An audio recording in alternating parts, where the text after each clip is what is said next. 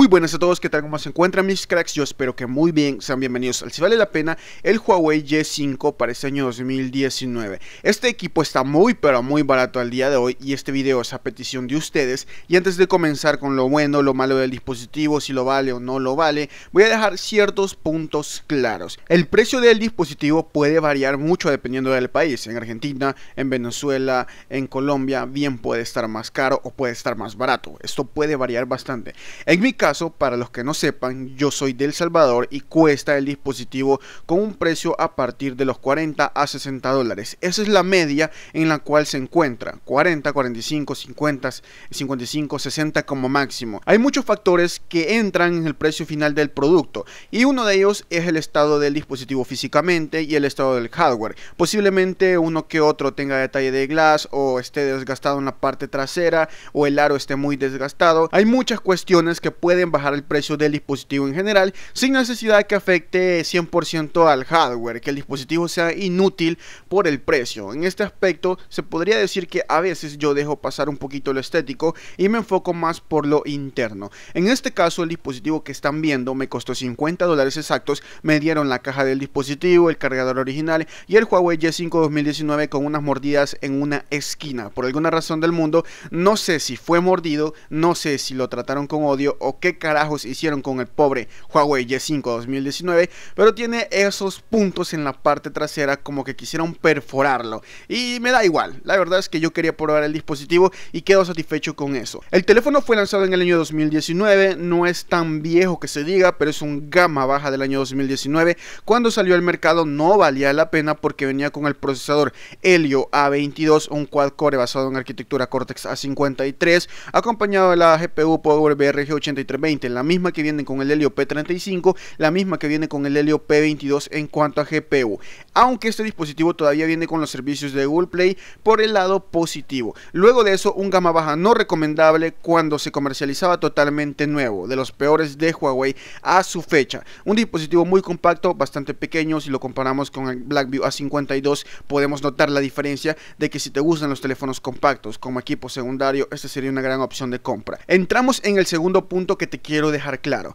El dispositivo puede valer la pena dependiendo de las opciones que tengas disponibles en tu mercado, ya que según el país las opciones de dispositivos móviles en cuanto a disponibilidad varían bastante. Pero digamos que tengo en el rango de los 50 a 60 dólares la disponibilidad de comprar este Huawei Y5 2019, tengo la otra opción de comprar un dispositivo de Lanix o Logic, como lo es el Logic LT503 que probé hace poco, creo que es 503 o LT50, no recuerdo, pero ese Logic me costó 45 dólares totalmente nuevo, con su cargador y con todos sus accesorios. Tengo a Logic tengo como opción al Huawei Y5 2019, tal y como lo ven con esas mordidas en la parte trasera, nada que afecte al dispositivo. Y como tercera opción tenemos a un Samsung Galaxy A5 2017. Tenemos esas tres opciones, rango de precio entre los 45 a 60 dólares. Obviamente de entrada yo me voy a ir por el A5 2017. Mejor cámara, la autonomía puede estar muy similar, la degradación de la batería obviamente se va a notar más en el A5 2017. Aún así puedo vivir con eso porque voy a tener mejor apartado fotográfico, mejor calidad de pantalla, mejores materiales de construcción. Prácticamente el dispositivo es mejor en todo el Huawei Y5 2019. Pero digamos que no existe la opción del Galaxy A5 2017, sino que tengo como opción un Bluvo, un Bluvo BL50, digamos. Entonces, obviamente me voy por el Huawei Y5 2019. En este aspecto sería la mejor opción de compra. Y estoy hablando de dispositivos básicos. Ahora, si nos enfocamos en un dispositivo secundario, el teléfono también sería una muy buena opción de compra, pero siempre teniendo en cuenta la disponibilidad de los teléfonos en tu país, si bien tienes disponible un Galaxy S6 Edge o un Galaxy S7 Flat a un precio similar, o un A5 2017 o un Galaxy A8 o cualquier otro teléfono que sea un año inferior a este o dos años inferiores, pero obviamente es mejor que este Huawei Y5 2019 por un precio similar, este teléfono queda totalmente descartado. Ahora, si no tenemos esas opciones, este teléfono es mejor que dispositivos totalmente nuevos que rondan precios similares de 40 a 60 dólares, ya sea de la marca Blue, ya sea de la marca Logic, ya sea Ango, B-Mobile, GoMobile, cualquier otro dispositivo en rango de precio similar, este teléfono es mucho mejor y lo he comprobado en este video.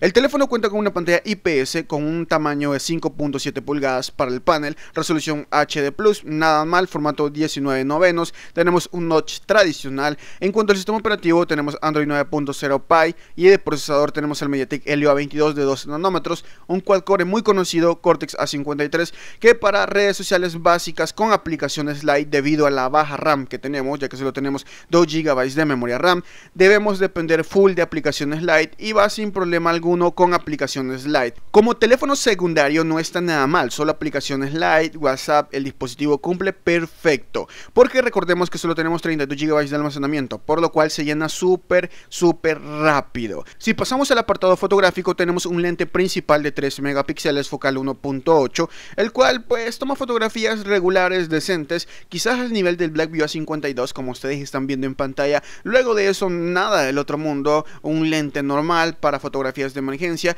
y hasta ahí, hasta un Samsung Galaxy S3 del año 2011 eh, hace mejores fotografías que este teléfono. La cámara frontal estamos peor, 5 megapíxeles focal 2.2, pero obviamente no estás comprando este teléfono por el apartado fotográfico, más por 50 dólares actualmente. En cuanto a la conectividad tenemos Wi-Fi, pero nada de banda dual, Wi-Fi estándar con banda de 2.5 GHz, Bluetooth 5.0, tenemos GPS compatible con los satélites, GLONASS y VDS. En teoría hay una versión que cuenta con NFC, pero este dispositivo, el cual yo tengo, no cuenta con NFC, pero sí tiene radio FM. Y en cuanto a la conectividad para la entrada de carga, tenemos micro USB 2.0. En cuanto a los sensores, tenemos sensor acelerómetro y sensor de proximidad. La batería de este equipo es de 3020 mAh, la cual me ha dejado con un sabor de boca muy bueno. En general, en lo que llevo probando el dispositivo, que es un mes y medio, no tengo quejas para lo que me costó, como les comento. Teniendo en cuenta el Logic que compré totalmente nuevo a comparación de este teléfono, la calidad se nota muchísimo. En teoría, el Logic es un dispositivo reciente que se lanzó en el año 2021 y está disponible todavía en el año 2022, cuesta 45 dólares nuevo y de igual manera hay otros dispositivos de la marca Blue, B-Mobile, GoMobile que compiten con este teléfono, digamos, como equipos totalmente nuevos que no se comparan a este Huawei Y5 2019. La calidad de pantalla, los materiales de construcción, esa parte cosida en la parte trasera, bueno, que simula que está cosida en la parte trasera, que hace sentir como que fuera cuero, el dispositivo se siente con ese feeling que ha sido construido para durar. Y luego de eso, el teléfono con temas de hardware, aplicaciones light, cumple el 100%, como equipo secundario cumple, como equipo primario podría decir que sí, dependiendo de dónde vengas. Si vienes, por ejemplo, de dispositivos todavía más básicos, como un Logic, un Blue de generaciones anteriores del año 2020 o 21, obviamente este dispositivo se va a sentir mucho, mucho mejor. Incluso si lo comparamos con el Huawei Y5P, te puedo comentar que este teléfono es mejor de entrada es mejor. Por alguna razón del mundo, este dispositivo se siente mucho mejor también en cuanto a temas de optimización. Algo que me ha dejado muy sorprendido es el tema de la batería, lo cual al día de hoy, teniendo en cuenta que es un equipo del año 2019 con 3020 mAh, debería tener una degradación en su batería bastante alta y aún así el equipo llega a dar 8 horas de pantalla. Estoy sorprendido porque para las pruebas de gaming recuerdo que pasé todo el día jugando y llegué al final del día después de una larga sesión de gaming en el Call Mobile, en el Free Fire, intentando abrir el ARC, también en el Mecha World Champions. O sea, traté de darle caña al dispositivo con todo y llegó al final del día con 20%. Me quedé muy satisfecho y dije, la autonomía de este equipo no está nada mal. O sea, pero es que no está nada mal, me ha sorprendido bastante. Otra cosa que me ha sorprendido bastante es el apartado del gaming, que hasta cierto punto el teléfono no está orientado al gaming, pero es capaz de correr y abrir el Mecha World Champions. Ya con eso me conformo. Que pueda ser competitivo, obviamente no, pero con solo la acción de abrirlo y poder correrlo es un gran logro para este equipo. Por el procesador que lleva, por la cantidad de RAM que tenemos, está más que bien. El Code Mobile también en el VR lo abre y puedes jugar en el VR de una manera regular, diría yo, más no lo compraría para jugar con Mobile en el VR, es más que obvio, es como un experimento, aún así lo corre, pero obviamente ya cuando tengas todas las texturas descargadas, skins y toda la mamada, obviamente el dispositivo va a tender a tener lag en el VR, siempre sucede